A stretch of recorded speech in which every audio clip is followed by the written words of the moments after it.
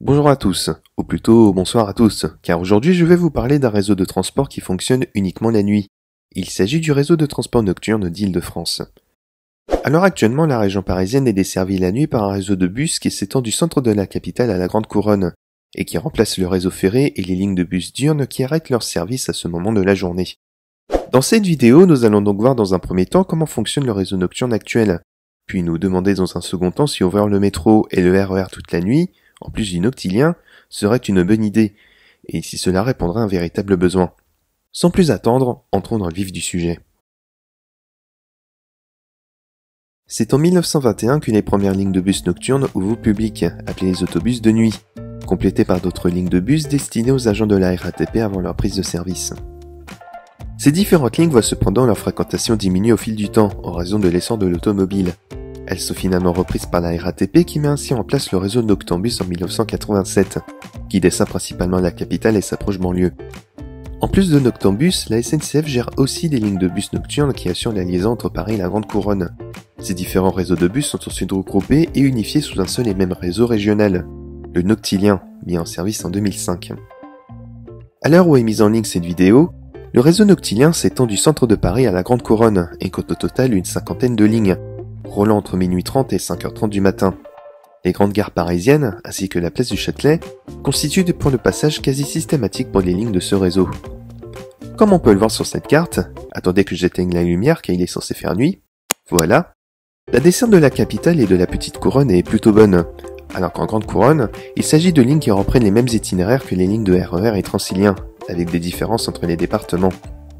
Et comme vous pouvez le constater, le réseau nocturne est essentiellement radial, la quasi-totalité des lignes effectuant la liaison Paris-banlieue, ou bien sous la forme de diamétrales traversant la capitale.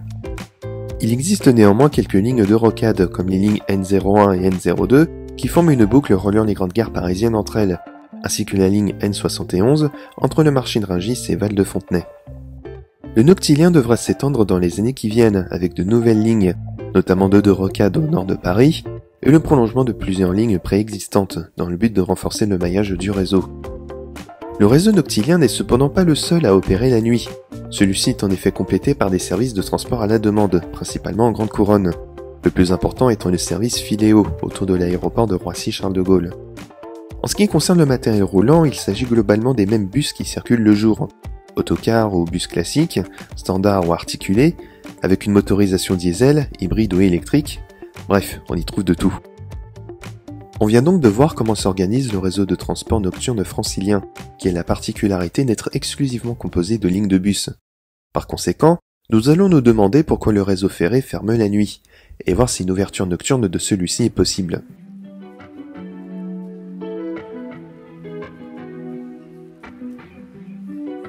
Pour savoir s'il est pertinent d'ouvrir le métro, le RER e ou encore le tramway toute la nuit, il faut d'abord savoir si cela est possible d'un point de vue opérationnel, et si la demande actuelle le justifie.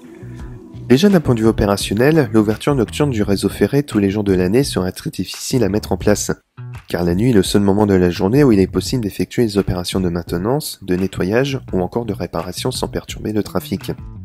Sans oublier la disponibilité du personnel, ou encore la conception des gares et des stations.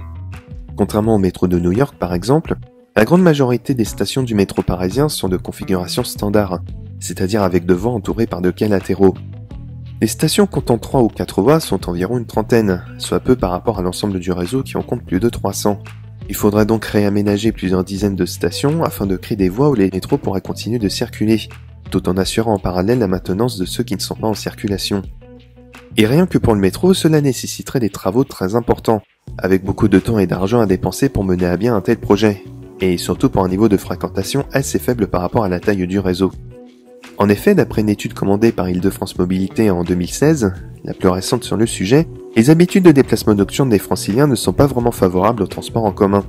Entre 2 et 3 millions de déplacements nocturnes quotidiens se font entre 21h et 6h, dont trois quarts avant minuit, quand les transports ferrés sont encore ouverts. La majorité d'entre eux sont effectués via des transports individuels motorisés, alors que les transports collectifs ne représentent que 15% de ces déplacements. Le samedi est le jour de la semaine où les franciliens se déplacent le plus sur cette tranche horaire, principalement pour les loisirs, tandis qu'entre lundi et jeudi, il s'agit davantage de trajets liés au travail.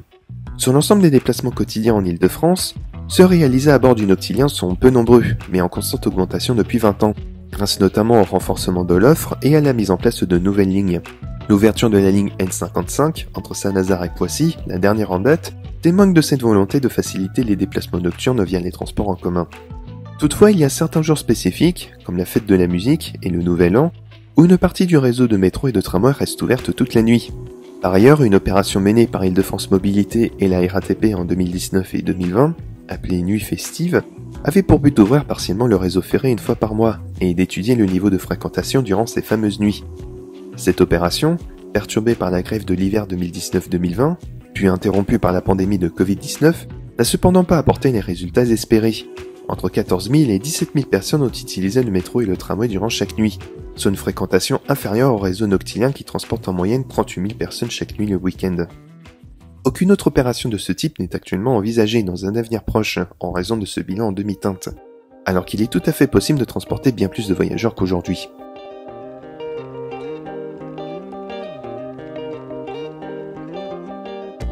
Comme on l'a vu plus tôt, les loisirs et le travail représentent une part importante des déplacements nocturnes à Paris et en Ile-de-France. En ce qui concerne les loisirs, entre les bars, les restaurants ou encore les discothèques, le choix est assez large, comme le montre bien cette carte. Et pour le travail, on retrouve les métiers de la nuit, bien sûr, mais aussi plein d'autres métiers où le travail de nuit peut être nécessaire, comme l'hôtellerie, la sécurité, l'entretien ou encore l'hôpital. On peut aussi retrouver des pôles d'emploi qui regroupent de nombreux salariés travaillant à des horaires décalés, notamment le marché de Rungis ou encore les aéroports de Roissy et d'Orly. Si on fait la somme de tout ça, ce sont donc des dizaines, voire des centaines de milliers de personnes qui travaillent la nuit en région parisienne, de manière habituelle ou occasionnelle.